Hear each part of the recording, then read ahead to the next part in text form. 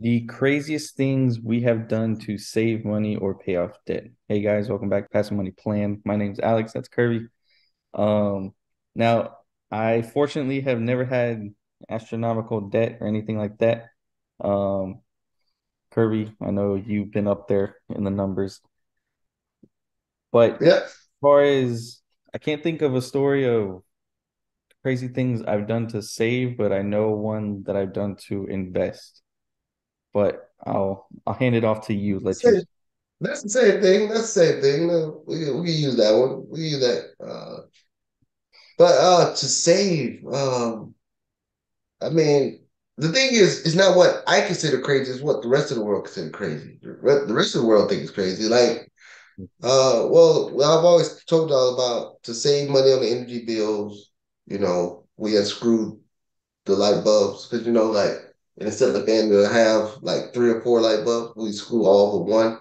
and uh in the, in the entire house. And in the house that we had at the time it was over 100 bulbs in the house. And then we got it all. Yeah it was, yeah because it was like it was silver fans and lights everywhere.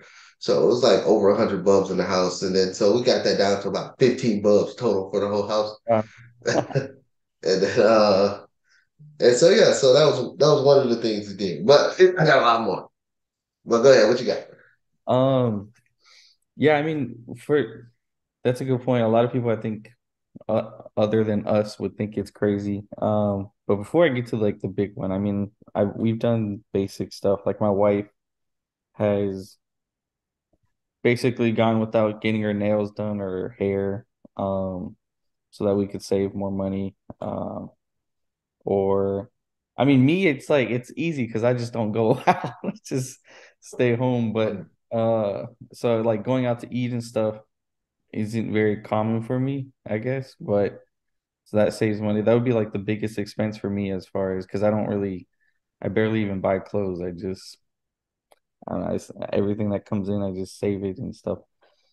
But the biggest thing that I did was um invest my entire savings in the stock market. And that was uh from your advice. No, no, it wasn't your. No, it inspired by you. But uh yeah, that was the biggest thing that we did was invest everything that we had saved. And uh, it took us about a year, I think, to save that. So going from saving it where it's secured in a bank to, you know, investing it in the stock market uh to learn on that journey was a big jump for us. Yeah, that's a big jump. But I mean, well, yeah, people might think it's crazy. People might think it's crazy. Uh, Yeah. people might think it's crazy. Uh, one thing I did. Oh, and actually, my wife still do it to this day. Uh, again, to save on utilities. It was well at the time we was using it to save money because the bills was so high and we made so little. Uh, like me, I, I was making like nine dollars an hour. Uh, so My uh on the and I never knew this until well, I mean, I never knew it had this feature on the thermostat. But my wife locked the thermostat so it wouldn't go below a certain temperature. And then you know how in Texas it gets super hot. Uh, but we could never, we can I could never, and I didn't know. I just thought the thermostat just didn't go that low. But my wife put a lock on there, so it couldn't go down. So it couldn't go down. So it was either, it, but the thing was our elect, your utility bill, electric bill went from three eighty a month down to eighty nine dollars a month. So in combination with the lights and the combination with the lights and the thermostat and things like that, the we saved about two two hundred dollars some change uh, per month. So that's two thousand dollars saved right there in a year just by Yeah. doing those certain things. Especially if you need money, you know that's that was and at the time we needed money. It was, we wanted money. We needed. We weren't trying to you know do this to save. We was trying to get the bills low enough so we can even afford the bills. And that was that was like something along the journey of I didn't understand what you know escrow was. You know, everybody always say 30 year fix, 30 year fix, you're gonna pay the same price for 30 years. Yeah, on principal and interest, but when escrow shoots up and take you out of whack. And then of course, I'm only making nine dollars an hour. My wife wasn't that high rate. I mean, you know, she was just uh, uh I think E three, E four at the time, so wasn't making no money either. So we were struggling to survive. Uh, I mean, a lot of things like that. That all seems normal to me to do, but yeah, I think it would be crazy for other people. I mean, we've, uh, I mean, we keep our AC at a set level. We don't lower it or anything. I don't know what you guys keep it at. We keep it at like seventy six, but um, my, uh, we keep it at 75, 74. My wife won't let it go below 74. It's, yeah. It's no, not, I, I, mean, a lot of people have told me that like what we keep it at is extremely hot, that they keep their mm-hmm. house like right. 68. I'm like, I, I don't know. I'm, yeah, heck no. Heck no. Better go take off some clothes or something. yeah, I mean, like, and, then and where you're at, your uh your utility cost is way higher. Like so, a monthly. Yeah. How much is your utility for just electricity? What is that a normal month like for, for a normal person, not for you? For just electricity is I think roughly 120 120 130 bucks. Not for a normal person, not you. Oh, for a normal person? Yeah. In your area. What's what's and I was talking to someone that paid like 60 bucks or something or 80 bucks for one person. For, I mean, for a house, not if they're in an apartment, that's different. But if they're in a house, that's what they pay. Yeah, I mean, because in with Lakeland at least, Lakeland Electric they provide electricity and water in the same bill. So like the average bill here is probably about 200, 300 bucks. So and then how much how much is it for you? Uh, for me, the highest that we've seen is like 280 but it's roughly on average about 200, 220 for both yeah, combined. No, in my area, normally people pay the normal is about two. That's like the normal. Me, I'm still at like 89 bucks. yeah. yeah. Yeah. But is that 89 for both or for No, no, no. My water, my water comes out to like 30, 40 bucks a month. Okay.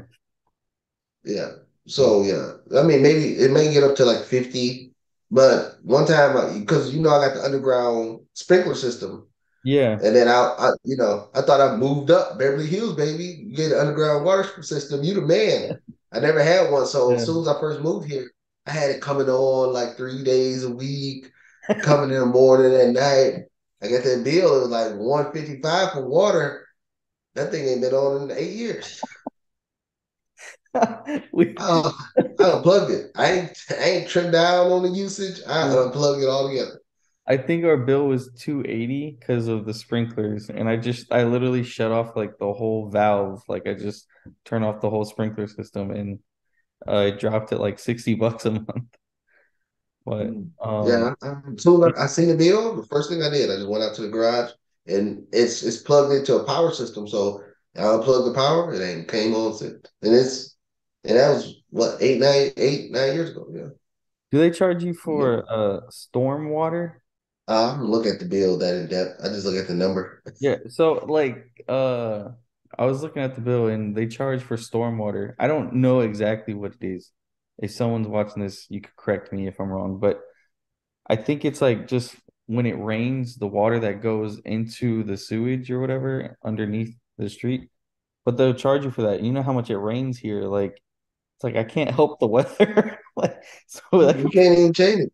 Yeah. And then the th- the crazy part, if let's say let's say you was uh like that guy on the cheapest man on earth video, if you did something like collect the water, like had a, a barrel or something collecting the water outside your house, then that's illegal to collect the rainwater.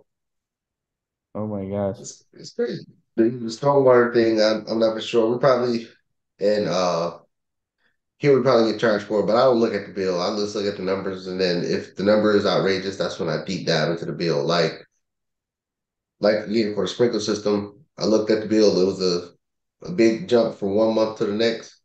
Then I looked at the bill then, and then I haven't really looked at the bill since then. After it went down, it was like, all right, cool. Um, don't know, y'all. Do you have gas at your at your place? You all electric? Yeah, we have gas. We have gas here, so it's electric gas. Our gas bill is like, you know, 20, 30 bucks. It's nothing. uh, outrageous. And I have gas stove, dryer is gas, and then our heat is gas also. The Hmm. hot water tank is gas also. Um, so, but besides that, I don't have no that much anomalies when it come there. But soon, soon something come out of whack, that's when I deep dive into it. Like my insurance bill going up, you know, 130 some percent. Then I'll oh, what the heck happened? I'm still looking for, you know, alternative for that. Um, and it was something very interesting. Uh, I was at a, a board meeting, I say last week, and and it was a, another investor guy that invested in real estate. He's not from the United States, but he lives here now. And then he was, I was asking him, I was like, I was like, did you see how much the insurance costs, or how much insurance cost has risen, you know, year over year? And then he was like, no, I haven't seen it. And then I, he was like, oh, he was like, I refuse to pay for insurance. And then so the next question was, I was like, so you paying for the property's cash, right? And he was like, yeah. He was like, but if you do the cost analysis on it, he was like, as much as they charging you, and then how much they're gonna charge you if you use it, you're like, I just rather have the money sent to the side to pay for whatever repairs are needed. And he don't use insurance at all. I said, very interesting, very interesting. Hmm. So, I mean, if it gets too egregious, that might be something I implement uh, on, you know, That pay is for properties. That's interesting because um like it I do the same thing and I we've talked about this in another video, but with uh when I sell products online, I don't use insurance from the post office because it's the same thing. Like it's it's an ex an extreme hassle for them to even get you to pay insurance. Like so when you pay for the insurance, it's not even covered because they'll they basically just deny the insurance claims. So I just started covering the the packages myself. But that's interesting. Right. I mean, I, that, one took me for a loop, but that's the first time I heard somebody say it. I mean, with the, you know, the condos and stuff like that, it makes sense. I mean, well, for him, it makes sense for the condos, but he said on none of his properties, but, and he's paying for all his properties in cash, but he said, no, I don't use insurance at all, at all. And then he said, uh, another one he pointed out was in Florida, you know, how, you know, if the roof is getting older, the insurance company automatically make you uh, repay uh, you know, buy another roof or whatever. And um, and he said it's a thing out there called uh 50 year shingles. And he was like, it costs a little bit more, but they don't tell you about it. They don't tell you about it. And then the insurance companies don't want to bring it up either because they want people to renew their roofs, especially after the debacle you know, back there in 2012, 13, where everybody was getting, you know, saying they had roof damage uh, so now insurance companies are, are being a big sticker on it because you know it cost them a lot of money, and that's why a lot of insurance companies in Florida is going bankrupt. Um, but other things that we did, I know we're getting off track a little bit here on that, um, but uh, other things that we we I've done to uh, Don't know, that's not what I was gonna say. The next thing I was gonna say was I was gonna ask you. So when you and your wife was coming up, uh, before you bought the house and stuff like that, you know what was your budget like? And then when it was time to come up with the funds for the house and stuff like that, before you got to that mode, what was what was your savings like? Was it uh we saving 30% of whatever we made, 20% of whatever we made? What was the dynamics there? Yeah, um so we during that time um our finances were still separate um Right. because we weren't married yet, we hadn't even moved in yet, but I had already had the down payment, but a lot of uh the money that I was making was either going into savings or I was buying um at the time I think I was buying like gold or, or yeah, gold and silver and then I was also selling it. Um so I had money going into that and money going into like inventory because this was like before I learned uh the stock market. Um so whether I had money in physical cash, like in the bank or in things that I could liquidate like quickly, like that I was actively buying and selling. Um, so once now once we did put the down payment on the house, it was like a shock to me to because like I thought I like lost the money, like oh gosh, like it, like it was to me to me it was like buying it was like buying like a car or something. I didn't realize houses, I guess, go up in value or whatever. But um yeah, it just felt like I just like lost my money and just put into this house. But um we by then we uh by by the time we had gotten the house, our finances were combined and um we actually act like quickly saved. I think we went from like a couple grand up to like seven grand in like a matter of a month or two or so. So it was it was, you know, we were very hard on saving at that point. But then it was the end of that year when we all got together and we were talking and then we just took that same money and put in the stock market. So that was uh mm-hmm. that was like to me that's my biggest uh biggest risk you took. To me it was like it was like that was just I was willing to do it. But when I tell other people that story, they look at me like I'm insane. Like um and I I didn't think it was that crazy of a deal. I thought it was just like me that willing, you know, being willing to do something. Um but people are very attached to their savings um and don't want to take risk with it, I guess. I mean, most people are risk averse. Most people are risk averse. Uh, well, that's one thing. Most people are risk averse, and most people don't want to make sacrifice. That's that's true. The underlying thing is it's always going to be something you have to do. And, and you know, my motto is you rather make the sacrifice, make the cuts, make the uh you know, do stuff like when you're saying that you unplug the the sprinkler system to cut the cost, cut the cost, cut the cost. You know, I'm very big on cut costs, but my motto is always you rather cut the cost when you can afford it than the world making you cut the cost because you can't afford it. Because when they when the world makes you cut the cost, it's going to hurt a whole lot more. Right. So, so in in our situation, we was almost at the brink of them just you know the world making us cut the cost, and we just started cutting, we started deep cutting, you know, oh, unscrewed light bulbs, everything, you know, ramen noodle sandwiches. We didn't care whatever it was to get the cost down. That's that's what we did, and then that's how we was able to survive longer and not miss payments and stuff like that. But we was almost on the brink of okay, the world's about to make you do it, and but it's so much easier when you can afford it. Like now, when I say my wife, she still don't let the you know thermostat go below 74. And we in Florida is hot, whatever. But to I mean, now I'm so used to it, even though I can afford it to go down to 65, you know, 60 and all that stuff, just because I can afford it, that don't mean I'm about to spend it. Right. And uh, to a lot of people, to a lot of people, it's, huh, you, you can afford it, but you rather be hot? No, it's why would I waste money on stuff that don't matter? I mean, it's I'm I was born and raised in Detroit central air, that wasn't even a, a thing. You know what I mean? You know, only thing you had was heat. You got some fans or something, but if you was hot, you go outside. You, you know, you take off your clothes, go get in the shower, go do something else. I mean, I've been in some very crazy places with no, and it's hundreds of degrees with no AC. So it's not a, it's not a, a big deal. But for most people, they're like, oh no, you're crazy. I mean, everywhere I go and I see people, that's the first thing I do. I meet people's house, I look at the thermostat. Like, what the hell? like, like what? Is that, this Rich yeah, people. I was like, oh no. Uh, no. Yeah.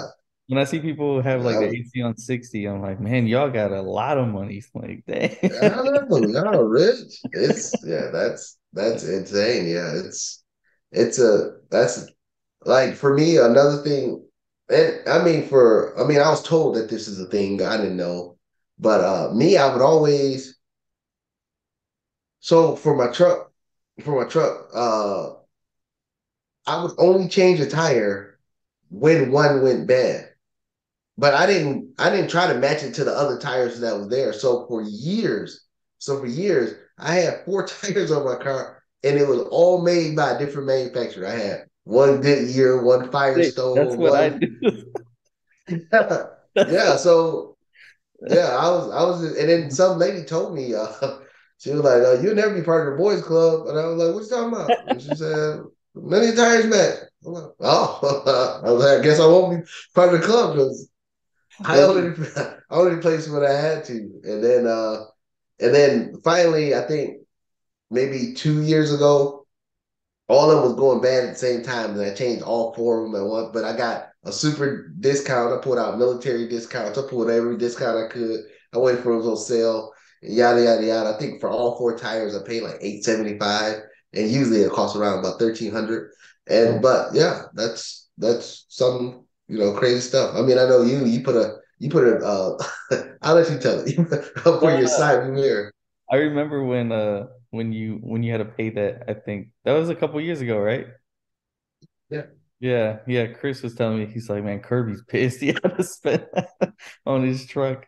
But um Yeah, did the same thing though. Like I just only changed one tire. I, I still do it. Like if only one cha only one tire like at a time, like whichever one I need to fix or replace. Or like ones that have nails, I'll just plug it. Like I don't even change the tire. Like I'll let it run bald. Let it ride, let it ride. Yeah. I mean, I'll change it, and I won't. I, the thing I don't do, I don't go get a used tire. I don't do that. But I'm going to get a new, the cheapest new tire you I, you can find. I'm not. I, I go in there and I'm like, I need a tire that fits this car, and they be like, okay, do you want one like this? I'm like, no, the cheapest one you have. The cheapest one you have. I don't care what name's on it, and they all look at me crazy. And then so yeah, I was riding around th- four different kind of threads on there. Yeah, I, I didn't care. I point A to B for me, point A to B. I didn't. I I remember so okay on my older car, the one I I drove that thing till uh, like I wouldn't drive anymore. I mean, it still drove, but like the motor was all yeah, it was it sucked. But uh, my clumsiness, I got too close to like a keypad entry thing one time, and the the wall the keypad was on was like this like little podium thing that was uh like brick, and I just scraped my car like like, like so clumsy. I just scraped it along the whole side, and I was like, "Oh my gosh!" And like it dented it in. It like it ripped off the paint, and so like. You know, I didn't know what to do, so I took it to like a body shop, and they're like, "Yeah, it's gonna be like it was like five hundred dollars or something to like fix it." I was like, "Nah, it's all good." So I got some like two dollar paint from Walmart, and I just I just like like painted over it, and it was like it wasn't even matching, and people were like, "Whoa, you got a decal?" Like, no, dude, that's just me painting over. And I'd be like, yeah, I got a new decal, man. Yep. I, I paid the big bucks for this one. Yeah, it's just it was like some cheap paint, just fixed it, boom, that's it. Yeah, you used to have that mirror in your uh when you knocked off the mirror Yeah, back then my knocked the mirror off, so I bought one off Amazon. I was able to put it put a new one off, but it was black instead of gray, so I was like, I don't care. He's like, right. Yeah. Oh man. With all that being said, uh, thanks everybody for watching the channel. Um, comment in the comment section if it's some cheap or crazy things that you did. You know, just save money or just being crazy like us. Uh, with all that being said, we'll see you in the next video. Uh, see you next time. Have a good one. Have a good one, guys.